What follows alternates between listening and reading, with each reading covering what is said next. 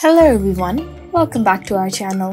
We all know that The Chosen will eventually come to an end. Despite its popularity, Dallas Jenkins and others contributors have planned only 7 seasons to tell the incredible story of Jesus' ministry. With the fourth season approaching, we're already halfway there. However, instead of feeling somber about it, perhaps there's a better way to look at the situation. The end of the series could pave the way for other stories to appear on our screens. In fact, Dallas Jenkins has precisely that in mind. During the K-Love Fan Awards a few weeks ago, Dallas Jenkins and the two cast members from The Chosen attended.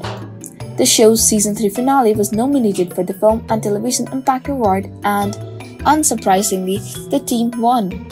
On stage, Dallas expressed his gratitude to everyone who supported the show and provided help along the way.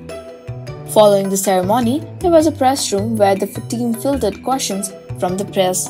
At one point, Dallas discussed his plan for the future shows, acknowledged that strong demand for Bible-based stories and expressed his intention to work on another project once The Chosen concludes. This is made possible by the dedicated sound stage and set for The Chosen in Texas, which the team created themselves. Dallas mentioned that they, as well as others interested in telling Bible stories, could utilize this set to continue producing such shows. The success and impact of The Chosen extend beyond a single project. The series has garnered a massive fan base worldwide, making it likely that any future endeavors by the same team would also be successful. The Chosen has demonstrated that biblically accurate show about the ministry of Jesus can be both faithful and appealing to a mainstream audience. However, the series hasn't been without its fair share of controversies. Firstly, there were concerns about the show becoming too influenced by Hollywood after Lionsgate acquired the rights to distribute the episodes. Then, there was a dispute regarding the inclusion of pride flag on the set of a Christian show. This caused some viewers to stop watching, however, things appear to have settled down now.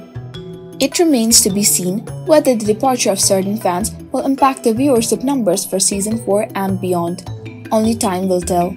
Additionally, one can't help but wonder about the project Dallas could develop once The Chosen concludes. Perhaps a series or a movie about the life of Jesus before he called upon his disciplines they would likely need to use de-aging technology to make Jonathan appear younger or they could pass the role to a younger actor. Nevertheless, regardless of the subject, I have confidence that Dallas and his team would do an exceptional job, and I'm sure that fans would continue to follow their work. What are your thoughts? Would you be interested in watching other TV shows or movies created by Dallas Jenkins? Let me know in the comments below. Thank you all for watching and if you enjoyed this video, don't forget to give it a thumbs up and subscribe to our channel for more updates. Until next time, take care, stay tuned for more exciting news.